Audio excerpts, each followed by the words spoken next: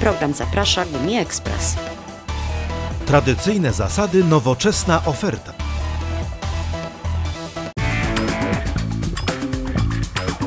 Witamy Państwa serdecznie. Dzisiaj zmieniliśmy miejsce.